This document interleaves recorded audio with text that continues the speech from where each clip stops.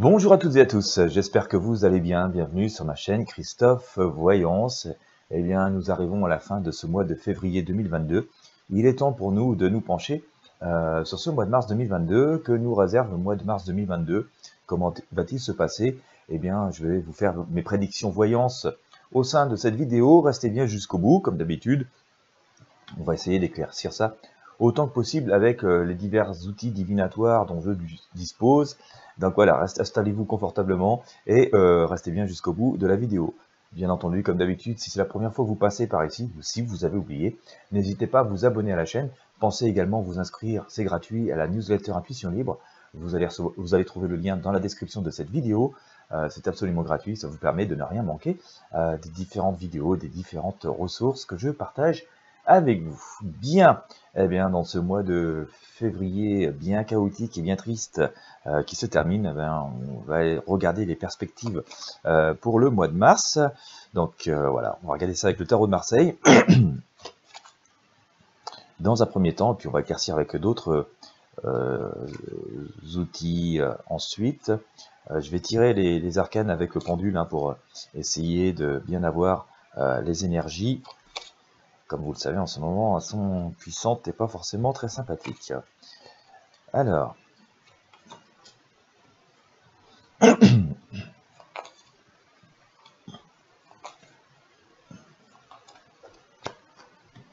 Allez, on va regarder ça avec le pendule.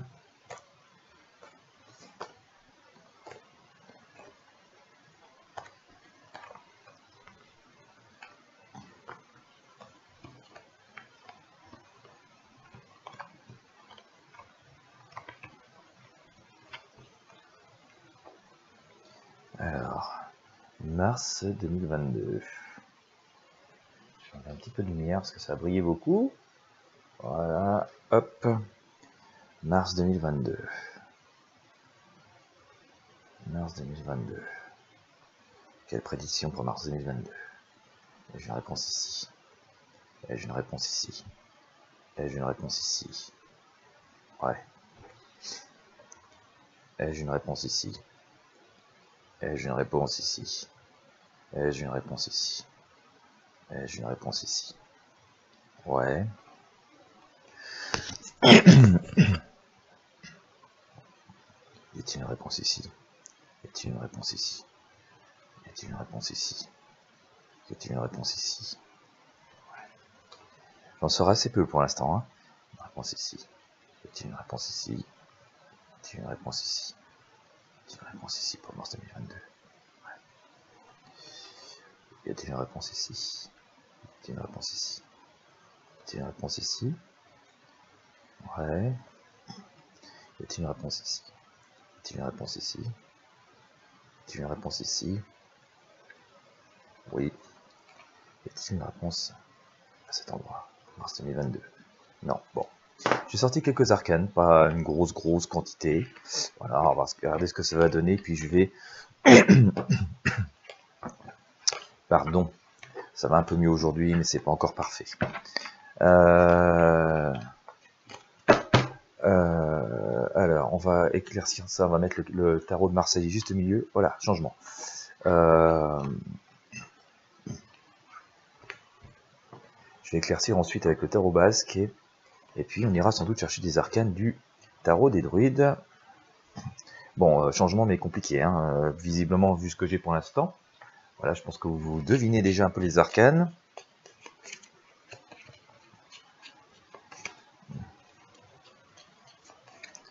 Euh, bon.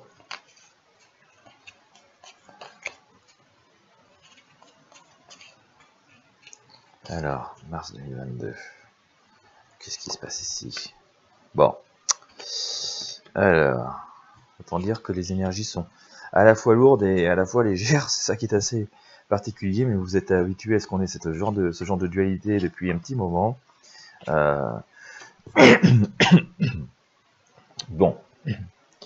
Euh, première arcane, je vous ai sorti ici cet arcane sans nom, hein, cet arcane la mort, donc le grand coup de faucheuse. Euh, donc on voit quand même changement assez radical, hein, changement de cap assez radical.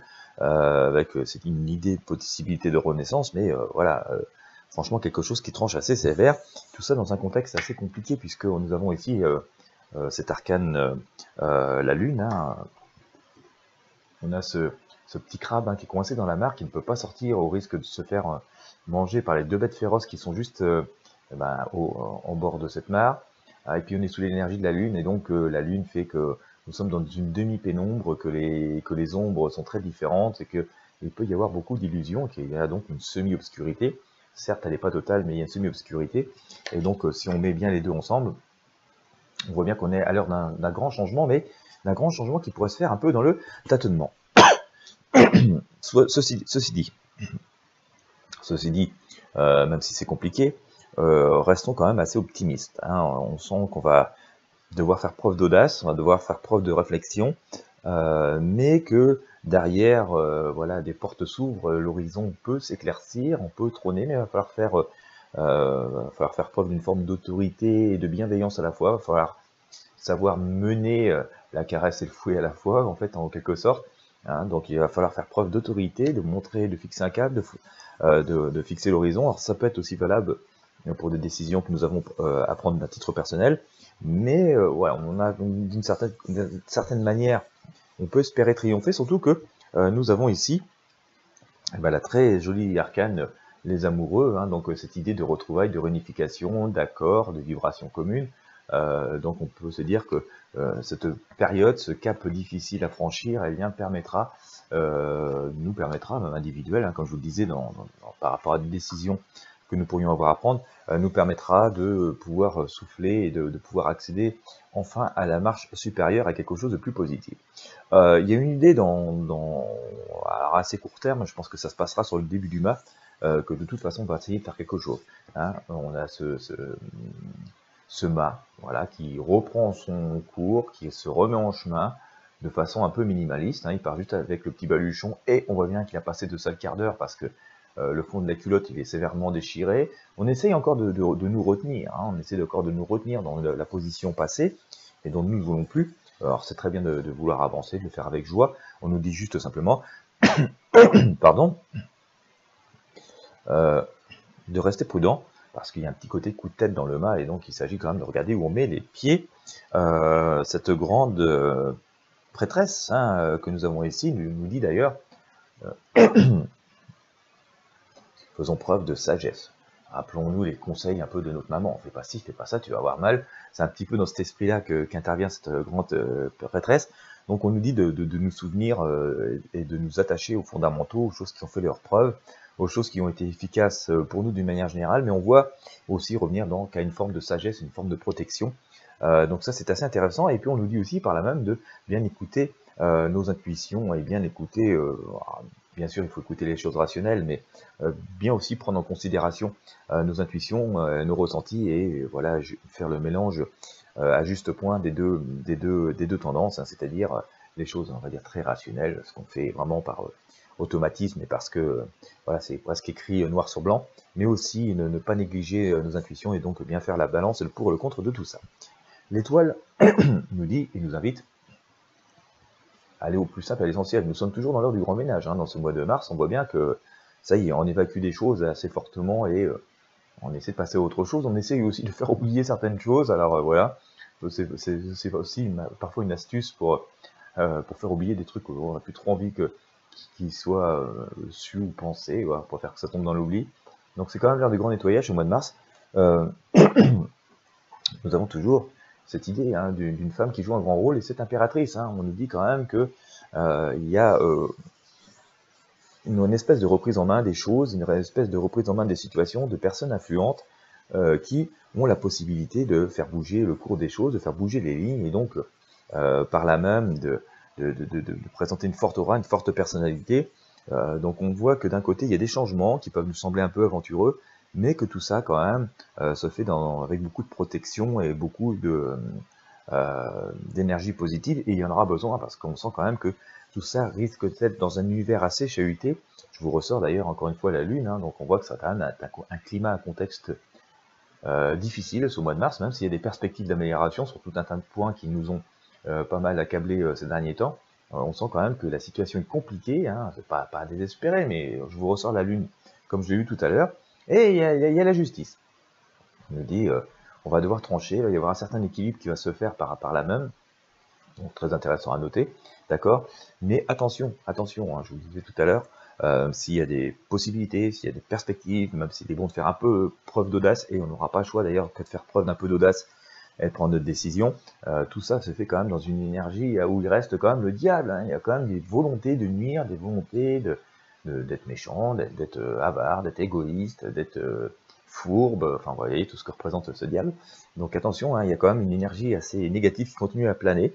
Mais, mais voilà, à côté de ça, eh ben, il y a le soleil, je vous parlais de dualité tout à l'heure, hein, on nous dit que malgré tout, si on fait le, euh, le, tour de ce tirage, on voit bien qu'il euh, y a beaucoup plus de lumière que, de, zones d'obscurité et que, allez, à chaque mauvais coup qu'on va prendre, on va pouvoir se redresser et avancer euh, positivement. Le, message de sagesse qu'on va avoir du tarot, hein, qui nous dit que même si euh, on va être quand même dans une énergie un peu pendue par une jambe, hein, on sent que c'est un peu compliqué de enfin, l'univers qui nous entoure. Et les énergies qui nous entourent peuvent être en partie assez inconfortables à vivre. Voilà, on aimerait que, tout aille bien, mais ce ne sera pas complètement, complètement le cas.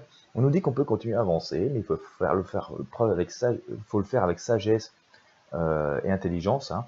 Euh, comme le fait cet ermite, il avance lentement mais sûrement il regarde où il met les pieds, il assure chacun de ses pas, et donc c'est comme ça que nous obtenons des résultats. Allez, sortons quelques arcanes du tarot euh, des druides pour voir ce que ça donne, et puis je vous ferai la synthèse bien sûr de ce tirage, hein, de ce que je, mon ressenti et de ce que je pense de ce qui va se passer ce mois de mars. J'espère rattraper, euh, retrouver une situation plus normale au niveau de ma voix dans les heures, les jours qui viennent, c'est assez pénible. Alors, la force. Donc, euh, emploi de la force, hein, sans aucun doute, au moins dans, la manière où, euh, pas forcément la force que, physique, hein, mais ça en fait partie, mais au moins dans l'affirmation de soi. Regardez cette femme, elle s'affirme, elle retrousse les manches et elle dit Toi la bête, maintenant tu t'écrases. Hein, C'est un peu ce qu'elle fait.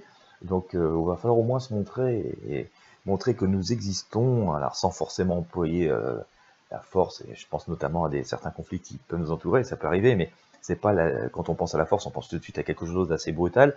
Non, l'affirmation de soi était déjà une force, hein, d'accord? Donc montrer que nous nous existons et que nous aussi nous pouvons, euh, était déjà une, forme de force. Et donc euh, c'est d'ailleurs ce que fait cette femme. Hein, elle a un peu retroussé les manches, et puis elle, est bien droite et fière de sa position. Elle dit toi la bête, euh, maintenant tu t'écrases. Hein, puis vous voyez, d'une main, elle la pousse au sol. Euh, donc c'est aussi une, attitude que nous devons sans doute prendre en considération sur ce mois de mars, c'est l'affirmation de nous-mêmes. Voilà. Nous sortons ce, ce fou, alors j'ai sorti le mât tout à l'heure, hein, c'est la même chose, on nous dit c'est bien, il faut avancer. En minimaliste, hein, quoi qu'il en coûte, quoi qu'il en soit, il faut, il faut avancer, il faut garder euh, en tête nos objectifs, mais regardons quand même où nous mettons les pieds. Ne faisons pas d'excès, hein, parce qu'un pas de plus et notre mât, il est dans le fossé. mais on nous dit quand même, alors je sais, ça peut sembler très compliqué globalement, mais que c'est un mois de renaissance. Hein. On, l'a ici avec ce petit lapin qui est dans le terrier. Euh, on va dire que dans toute difficulté, dans toute épreuve, il y a toujours moyen aussi au moins d'envisager l'avenir, au moins de l'envisager les choses, d'en tirer les leçons pour envisager les choses mieux, euh, faites, plus positives et euh, corriger de leurs défauts actuels dans le futur. Euh, et donc on nous dit c'est l'occasion de, refaire, de refaire certaines choses, de revoir certaines choses, de remettre certaines, certaines choses en question euh, pour faire mieux. Hein. donc euh, ça nous concerne aussi directement par rapport à cette période où nous avons nous allons avoir de nouvelles perspectives de pouvoir avancer, au, au moins par rapport à nos vies personnelles.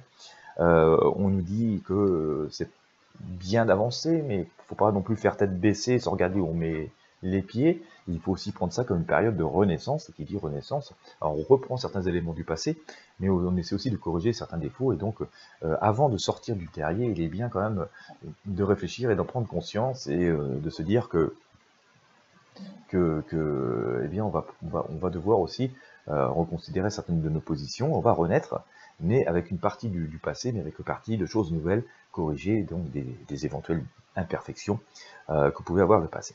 Donc, ce que je pourrais dire de ce mois de mars.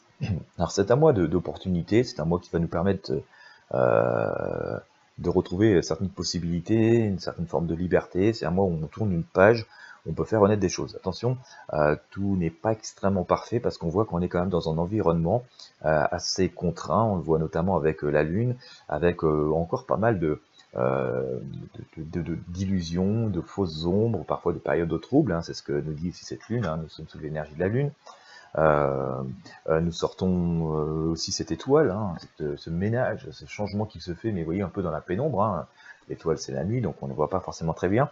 Donc on peut alors, mais tout ça est quand même entouré d'une énergie plus bienveillante et de plus de, retrouvailles et, d'union. Donc ça c'est assez intéressant à noter. On voit quand même que les rapports de force s'orientent plus vers la lumière que vers l'obscurité. Mais pour autant, il euh, ne faut pas non plus crier victoire trop vite et faire preuve d'imprudence, et que par là même, on nous dit, que, euh, certes, si on a pas mal d'atouts, même s'il y a pas mal de choses dans notre manche pour que ça se passe euh, pas trop mal, ou, pas, ou, pas, si mal que ça, que pas pour autant qu'on doit être déconnecté tout et de se dire que ça y est, tout va bien, ou de, ou de prendre des risques inconsidérés. Au contraire, on nous dit, euh, soyons euh, cartésiens, c'est aussi parce que euh, on va faire ça que on va aussi prendre conscience parfois de certaines de nos faiblesses, de certaines de nos lacunes, alors parfois à titre personnel, mais aussi des choses qui nous entourent, ou tout un tas de, solutions qui, nous entourent, ou, de choses qui étaient en place depuis longtemps, et que ça nécessite aussi certains ajustements, certains changements pour accéder à cette renaissance, mais qui est annoncée. Hein, donc on, on, nous dit par là même, quand même, restons optimistes, mais euh, euh on peut être optimiste sans, être, euh, sans prendre des risques inconsidérés et, sans l'être de trop non plus. Hein, C'est-à-dire être optimiste euh, aveuglé par tout va bien. non, on nous dit surtout pas faire ça. On nous dit on peut être optimiste, mais soyons à la fois prudents, mesurés, observateurs, adaptons-nous. nous avons des outils, mais c'est pas parce que nous avons les outils que euh, la maison est déjà construite d'avance. Hein. Il va falloir quand même réfléchir un peu et, faire preuve un peu d'audace et de réflexion pour pouvoir justement euh, bâtir les murs euh, aussi solidement que possible et pouvoir aller jusqu'au toit et pouvoir ensuite se mettre à l'abri. donc, mais au moins on a la possibilité de construire, donc ça c'est assez intéressant à noter. donc un mois qui amorce un renouveau, qui amorce des changements, mais dans un contexte quand même très perturbé. Donc c'est justement parce que on va faire preuve à des choses assez fondamentales, qu'on va écouter nos ressentis, qu'on va écouter nos intuitions, d'accord Qu'on va aussi écouter notre esprit cartésien et qu'on va savoir faire euh, la part de tout ça, remettre les bonnes choses en question, remettre euh, les, pendules à l'heure, en fait, en quelque sorte, que nous allons accéder à cette renaissance et sans doute que, bah, si l'énergie continue sur ce sens-là, euh, le mois d'avril nous annoncera des choses un peu meilleures. Bien sûr, on va continuer à suivre ça de près et puis au fur et à mesure des événements, et on continuera à faire des tirages pour espérer des choses. En tout cas, un mois d'opportunité. Euh, il s'agit de savoir juste euh, les saisir. Euh, il s'agit juste de, aussi de voilà commencer à réfléchir, à reconstruire, mais avec réflexion. et que même dans une situation un, peu confortable, on nous dit que voilà, il y a des parfois des bonnes choses à retirer. C'est souvent parfois d'ailleurs que dans ces moments difficiles que les plus belles réussites se réalisent également, donc c'est toujours bien à noter. Euh, voilà ce qu'on peut en retirer d'une manière globale, hein, bon là c'est très global, mais aussi par rapport à certaines des actions que nous pouvons euh, être amenés à faire et par rapport aux problématiques que nous pouvons rencontrer. Voilà, eh bien écoutez, j'espère que ce tirage aura pu vous éclairer, aura pu vous être utile par rapport à, à vos situations personnelles. En tout cas, j'espère que vous aurez apprécié. Si tel est le cas, je vous invite à mettre un j'aime, un pouce bleu, à partager avec vos amis sur vos réseaux sociaux, ça pourra leur être utile. Et puis, eh bien, ça m'aide aussi à faire connaître ce, travail et cette chaîne. Et donc, euh, je vous remercie de vos partages et de votre aide ainsi. Euh, bien sûr, pensez à vous abonner à la chaîne, pensez à visiter les liens qui sont à votre disposition dans la description de cette vidéo. Il y a tout un tas de ressources, euh, dont pas mal de gratuites qui peuvent vous être utiles. Donc n'hésitez pas à piocher en fonction de vos besoins. Et puis, eh bien, écoutez, je vous remercie de m'avoir suivi jusqu'au bout. Je vous souhaite euh, une bonne journée, une bonne soirée en fonction de l'heure à laquelle vous me regardez. Et puis, je vous dis à très bientôt pour de prochaines voyances.